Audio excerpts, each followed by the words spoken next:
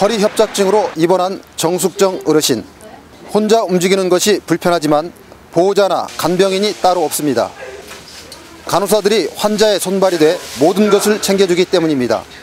팔, 다리도 어느 땐 주물러주고. 서비스는 우리가 뭐 요청하는 서비스는 다 해줘요. 그렇게.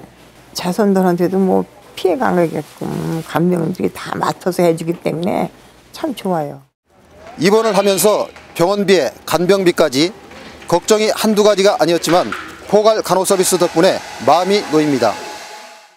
포괄 간호 서비스는 간호사가 입원 환자의 간호 서비스를 24시간 전담하고 있습니다.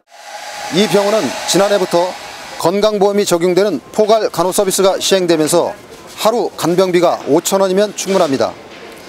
포괄 간호 서비스가 시작되면서 보호자들의 간병 부담은 물론 병원 내 감염 위험도 줄어들었습니다. 보호자들이 사회활동 하는데 굉장히 간병으로부터 자유로워서 굉장히 부담이 적다고 볼 수가 있고요. 그 다음에 감염병이 창궐했을 때 그 감염병이 더 전파되지 않게 그런 예방 효과도 있고. 경기도 의료원 수원병원과 의정부 병원에서만 운영되던 포괄 간호 서비스가 올해부터 경기도의 공공병원 전체로 확대됩니다. 안성과 이천, 파주, 포천 등 4개 병원의 포괄 간호 서비스 병동을 마련하고 병상도 82개에서 406개로 5배까지 늘렸습니다.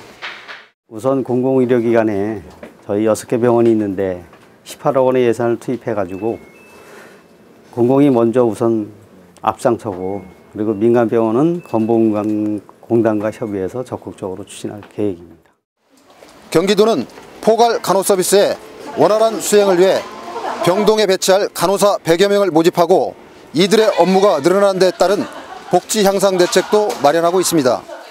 국민 리포트 곽지술입니다.